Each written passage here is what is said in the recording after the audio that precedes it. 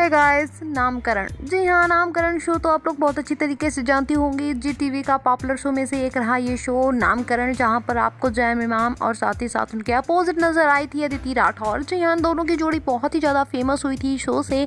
लोगों को काफ़ी ज़्यादा पसंद आई ये जोड़ी, जहाँ पर नील और अवनी का कैरेक्टर दोनों ने प्ले किया था। जी हाँ नील के कैरेक्टर में जैन इमाम नज़र आए थे तो वहीं अवनी का कैरेक्टर अदिति राठौर प्ले कर रही थी। दोनों की जोड़ी की अगर बात करें तो नील और अवनी को लेकर आज भी फैंस बहुत ज़्यादा एक्साइटेड रहते हैं और इनकी मांग कर रहे हैं, इनकी डिमांड बहुत ही ज़्यादा है। जी हाँ नामकरण के सीज़न टू की डिमांड बहुत हाई है। अगर बता दें आपको ऐसे में, बहुत ज़ोरों शोरों से खबरें सामने आ रही हैं कि बहुत ही जल्द इस शो का सीज़न टू स्टार्ट होने वाला है। आपको बता दें जी भी अपने पॉपुलर शो की सीज़न टू लेकर आ रहा है और आज के टाइम पर सीज़न टू का क्रेज़ काफ़ी ज़्यादा देखा जा रहा है। सो ऐसे में इस शो का सीज़न टू कब आएगा, ऐसी खबरें तो लंबे टाइम से चल रही थी, लेकिन फाइनली ऐसी खबर आ रही है कि शो के सीज़न टू पर वर्क किया जा रहा है। यानी कि शो की कास्टिंग चल रही है और ऐसा है तो फिर कौन आने वाला है इस शो में नज़र कौन होगा लीड एक्टर, कौन होगी लीड एक्ट्रेस? ये सवाल सबसे पहले उठते हैं फैंस के दिलों में।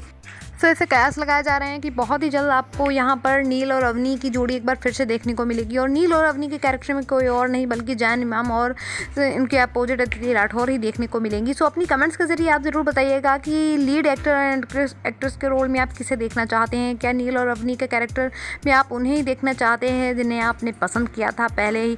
जो यहाँ डेफिनेटली फैंस अगर बात करें तो फैंस उन्हीं कैरेक्टर को देखना चाहेंगे सीज़न फ़र्स्ट के कैरेक्टर को। सो कमेंट करके ज़रूर बताइएगा। वहीं अगर बात करें सीज़न सीज़न टू आखिर स्टार्ट कब होगा? तो बता दें, ऐसी सिर्फ़ खबरें आ रही हैं, ना ही कोई ऑफिशियली अनाउंसमेंट हुई है। तो देखने वाली बात होगी इन खबरों में कितनी सच्चाई है और क्या सच्चाई है तो आने वाले टाइम में पता ही चल जाएगा। जल्द से जल्द प्रोमो भी रिलीज़ हो जाएगा। अगर सच में कास्टिंग स्टार्ट हो चुकी है तो प्रोमो स्टार्ट होने में ज़्यादा टाइम नहीं लगेगा।